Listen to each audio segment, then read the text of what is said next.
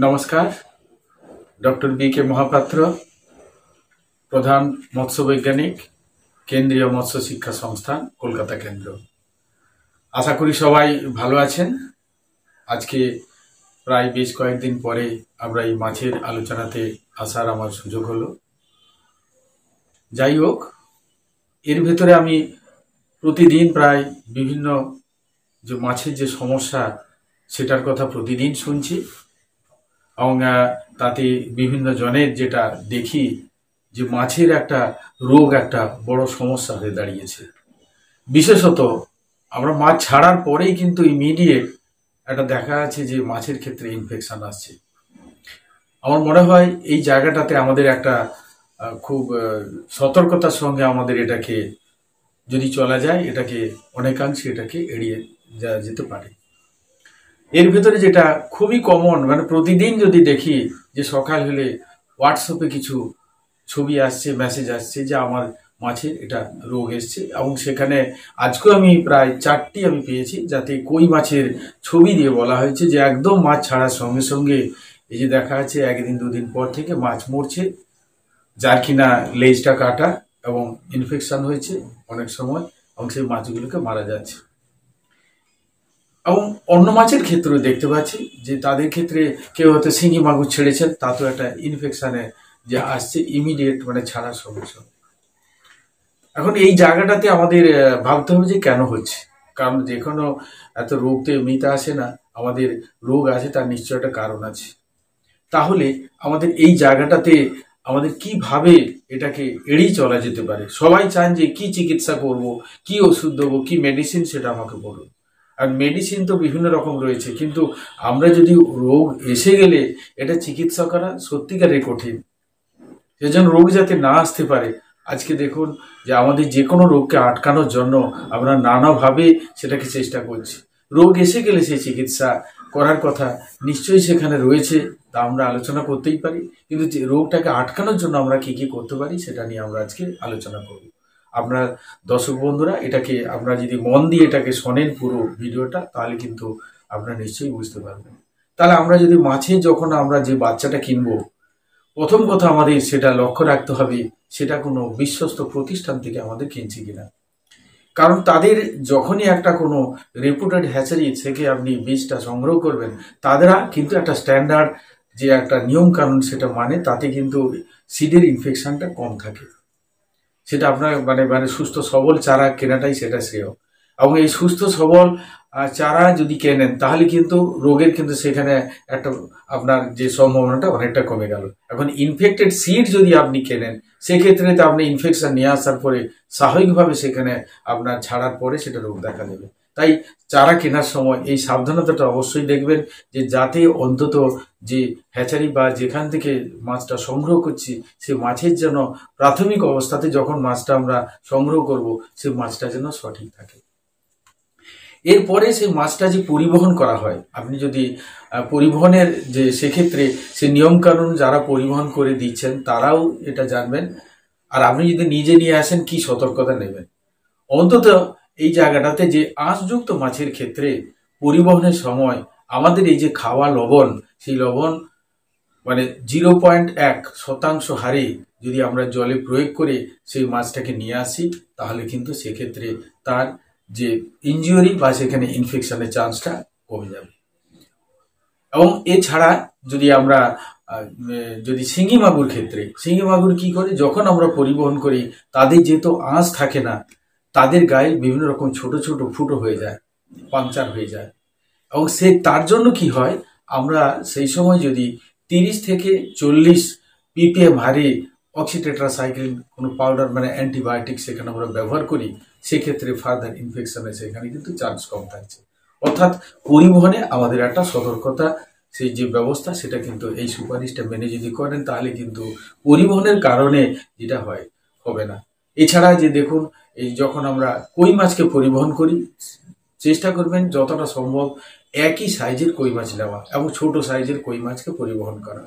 বড় কই মাছের ধীরে ধীরে কি হয়, ওদের ক্যানিবালিস্টিক হ্যাবিটটা বাড়ে। সেই জন্য ছোট কই মাছকে পরিবহন করা যতটা নিরাপদ, বড় কই মাছকে পরিবহন করা ততটা নিরাপদ নয়। এটা একটা দিক। এছাড়া যখন কই মাছ পরিবহন করবেন, দেখবেন যেন একই আকৃতির হয় অর্থাৎ সম সাইজের তা না হলে বড় কই, এবারে ছোট কই লেজগুলো কেটে দেয়।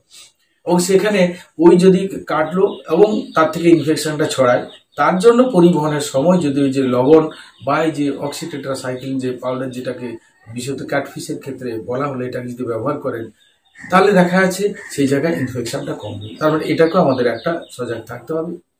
এরপরে যখন আমরা মাছটাকে আমরা স্টকে নিয়ে আসার পরে যে পরিবহনের পরে অবশ্যই সেখানে টেম্পারেচারটাকে ইকুয়ালাইজ করতে হয়। কারণ কারণ যদি টেম্পারেচারকে ইকুয়ালাইজ না মানে সমান না করা যায়, সেক্ষেত্রে তাদের কি হবে? ট্রেস হবে এবং ট্রেস থেকে তাদের কিন্তু আবার রোগ হওয়ার চান্স থাকে। তার জন্য আমরা করি কি যখন মাছটাকে নিয়ে আসা হবে পরিবহনের পরে, অবশ্যই সেটাকে যে জলাধারে আমরা ছাড়বো, সেই জলাধারের জলের সঙ্গে মানে টেম্পারেচারটাকে ইকুয়ালাইজ করার জন্য মানে সমান করার জন্য, সেই পরিবহনের যে পাত্র বা আমাদের যে প্যাকেট সেটাকে জলে সেখানে রাখা, তাহলে কি হবে? তাপমাত্রাটা অনেকটা সমান হয়ে যাবে।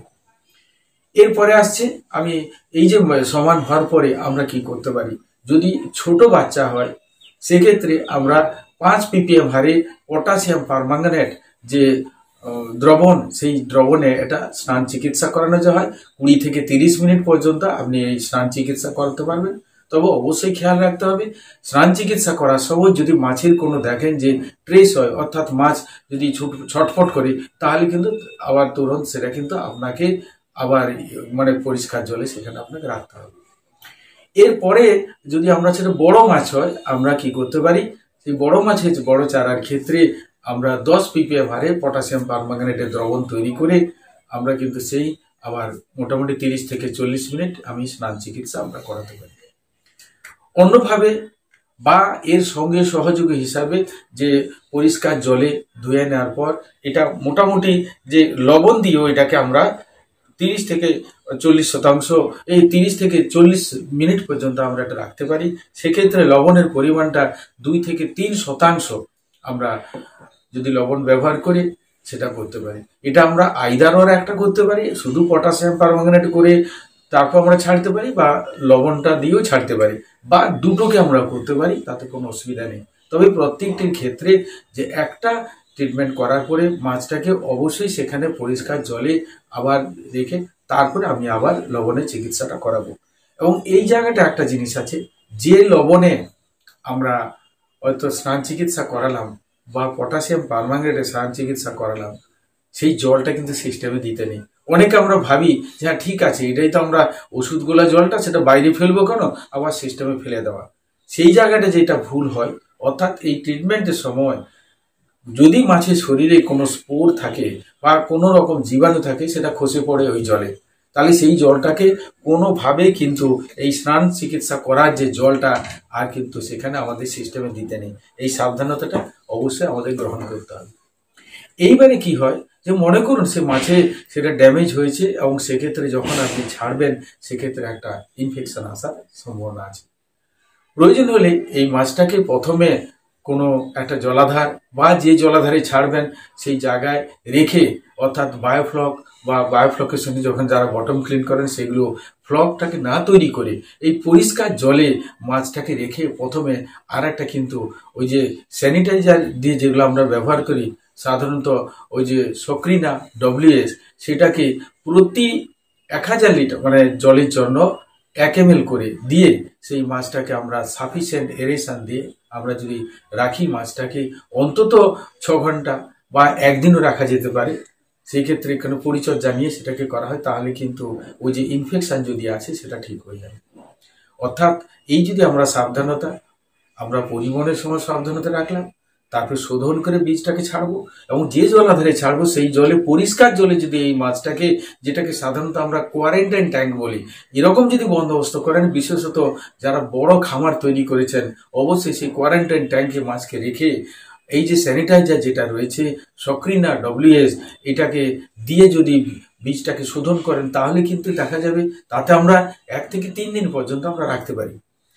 এই এবং প্রতিদিন জলটাকে চেঞ্জ করে আবার প্রতিদিন এই যে এটাকে ট্রিটমেন্টটা করা হয় সক্রিনা ডব্লিউএস প্রতিদিন তাহলে এক থেকে তিনবার পর্যন্ত, এক থেকে তিন দিন পর্যন্ত রেখে এটাকে আপনি যদি করেন, তাহলে কিন্তু পুরো এটা মুক্ত হলো। এই অবস্থায় যদি আমরা মাছটাকে আমরা মজুত করি, তাহলে কিন্তু আর সেটা আসবে না। তা না হলে যেটা প্রতিনিয়ত এটা আমরা দেখছি যে, এবং এর সঙ্গে আর একটা জিনিস আছে, যদি দেখা যায় যে মাছগুলোকে আপনি লক্ষ্য করছেন যে তখনই কিন্তু কোনো রকম তার লেজ কাটা হয়ে গেছে বা ইনফেকশান আছে। এরপরে এই স্নান চিকিৎসা মানে ওই যে স্যানিটাইজার দেওয়ার পরে আপনি একটা কোনো বিশেষজ্ঞের পরামর্শের মতো আপনি অ্যান্টিবায়োটিক কোনো সেটাকে তিন থেকে পাঁচ দিন এটা খাইয়ে নিতে পারেন। খাবারের সঙ্গে মিশিয়ে সে অ্যান্টিবায়োটিক খাওয়ানো যায়। এই যদি সাবধানতা নেওয়া যায় তাহলে আপনার, তারপরে আপনার যে মেন কালচার সিস্টেম সেখানে রাখুন, আপনার কিন্তু মাছের কোনো মানে ওখানে রোগ অসুখ আর আসবে না। ওর অন্তত এই যে ছাড়ার সঙ্গে সঙ্গে যে অসুবিধাটা আপনারা ফেস করেন, বিশেষত মাছের যে, এই যে রোগ, যে লেজ কাটা বা শিঙি মাছের বা মাগুর মাছের যে ঘা হওয়া এবং তাতে অনেকটা পরিমাণ বাচ্চা মারা যায়, সেই বাচ্চা মারা মরকের হাত থেকে আপনারা রক্ষা পেতে পারেন। আশা করি দর্শক বন্ধুদের এই আলোচনা আপনাদের কাজে আসবে। যদি আপনারা কোনো মানে যোগাযোগ করতে চান, অবশ্যই আমার ফোন নাম্বার দেওয়া আছে। সেই ফোনে আপনারা যোগাযোগ করবেন। এই জায়গায় আপনাদের অনুরোধ করি, আপনারা এটা সরাসরি ফোন না করে আমার যে, এই যে, এটা একটা হোয়াটসঅ্যাপ নাম্বার, আপনার নাম, ঠিকানা আগে আপনি দেবেন এবং সেখানে যদি কোনো সমস্যা নিয়ে আলোচনা করেন, সেক্ষেত্রে আপনারা লিখে জানাবেন এবং দরকার হলে যদি কোনো রোগের আপনার কোনো চান সেখানে সুরাহা, সেক্ষেত্রে ছবি দিয়ে পাঠাবেন, তাহলে কিন্তু আমার উত্তর দিতে সম্ভব মানে আমারও সম্ভব হবে আমার সেখানে সহজ হবে। কারণ সেখানে এই যে কোনো নাম ঠিকানা নেই, সারাদিন যে ফোনগুলো করেন, সেই ফোনের আমি সবসময় উত্তর দেওয়া আগে অনেক দিয়েছি, তাতে আমাদের দর্শকের সংখ্যা কম ছিল, যাতে কম দেওয়া আমার সহজ হয়েছে। এখন সারাদিনে অনেক বেশি ফোন আছে এবং সেই জায়গায় এই যে বাস্তব সমস্যা, সেটাকে নিশ্চয়ই আপনারা এর সঙ্গে আমার সঙ্গে সহমত হবেন। যাদের কোনো জানার দরকার থাকে, আপনারা সেখানে আমার হোয়াটসঅ্যাপ নাম্বারে আপনার কি জন্য ফোন করছেন, প্রথমে আপনার পরিচিতি দিয়ে কি জন্য ফোন করছেন সেটা জানাবেন। আশা করি সবাই ভালো থাকবেন এবং সবাইকে আমার ধন্যবাদ এবং নমস্কার জানিয়ে আজকে যে এই মাছের রোগের ব্যাপারে যে আলোচনা, এখানে আমি শেষ করছি। ধন্যবাদ, নমস্কার।